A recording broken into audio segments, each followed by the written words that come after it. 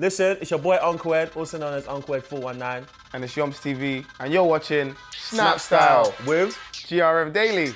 I like I like McQueens because they're like extended Stan Smiths. I just want, you know, poor kids in the world to be fed. I'm really careful with this monetary. You said your designer wish list, bro. This is my wish list. Broke. It's so true. It's So for you, for you. So, I'm not gonna come and lie on Snapchat, bro. Have you ever bought a jumper and then put like the Stone Island badge on it? Oh, Oops. oh, oops, triggered. triggered.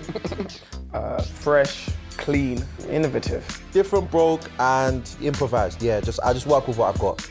I like the Sales section. this the outlet. yeah, I was like trainers. Uh, these are uh, freeze right now. The Katrinas. Oh, Bane, Bane, Bane. If I had peas, I would dress like him. Or Fredo. Expensive, you know?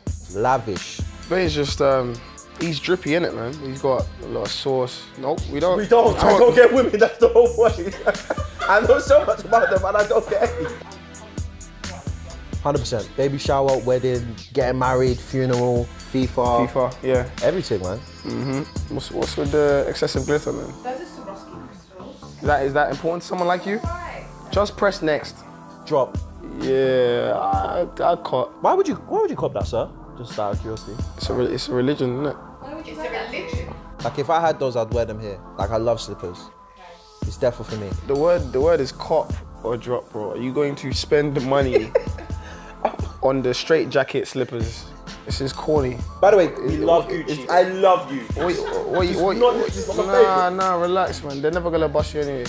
Yes, The Thanos is. the. Thanos. I drop, I drop, man. I wouldn't. I, wouldn't I, I would I would cop them. No, would you make your daddy wear it? Daddy here is, and he says this is foolish. You're gonna get hurt. Just a bit. It's just too much. Stupidity, stupidity, maybe. Actually, not got do rag that color. I'm good.